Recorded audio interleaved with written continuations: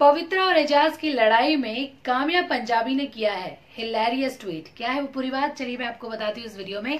नमस्कार, मैं हूँ ज्योति पाठक और आप देख रहे हैं फ़िल्म विंडो और अगर आपने हमारे चैनल को अब तक सब्सक्राइब नहीं किया है तो जल्दी से सब्सक्राइब कर लीजिए।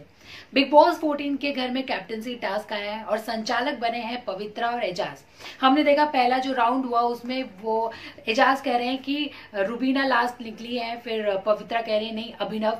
दोनों ही एक दूसरे को यू नो बचाने की कोशिश कर रहे हैं, बोल रहे हैं कि ये निकले बाहर, वो निकले बाहर। तो इस तरीके से दोनों के बीच में जो लड़ाइयाँ हो रही है, वो रुकने का नाम ही नहीं ले रही है, बढ़ते ही जा रही है। कहीं ना कहीं अननेसेसरी अनवांटेड लग रही है इनकी ये लड़ाई। इरिटेटिंग भी लग रही है।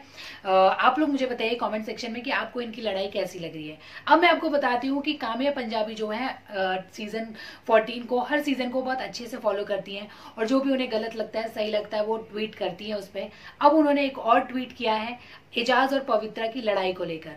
उन्होंने कहा है, एजाज एंड पवित्रा, इतना क्यों सड़ रहे हो? इतना क्यों सड़ रहे हैं?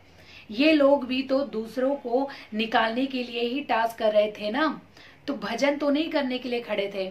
तो इस तरीके से जो काम्य पंजाबी है, उन्होंने ट्वीट कर किया है एजाज और पवित्रा की लड़ाई को लेकर। भाई, मैं भी आपसे जानना चाहूँगी, मुझे बताइए कमेंट सेक्शन में इनकी लड़ाई आपको किस तरीके से लग रही है?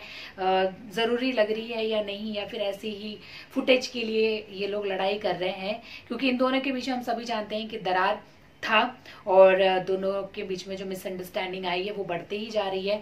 कभी कहते हैं कि तूने मुझे नॉमिनेट किया, फिर ये, वो सारी जो इनकी लड़ाई है, क्या आपको लगता है इन सारी बातों पर? कमेंट सेक्शन में बता दीजिए और देखते रहिए फ़िल्म विंडो इसी तरीके की अपडेट्स के लिए।